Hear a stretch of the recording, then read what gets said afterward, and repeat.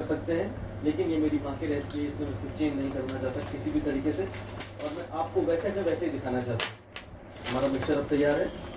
हमको ध्यान रखना है कि जो मिक्सर है, वो इतना टाइट हो कि उसके गोले बन सके। कुछ इस तरीके से। ये देखिए बॉल का फॉर्मेशन हो रहा है। यानी हमारा मिक्सर बिल्कुल सही बना है। अब इसके हम बॉल्स बना लेंगे। ये देखिए, हमारे बॉल्स अब तैयार है। बॉल्स को हमने फ्राई करना है। तो अब हम चढ़ा लेंगे तेल में।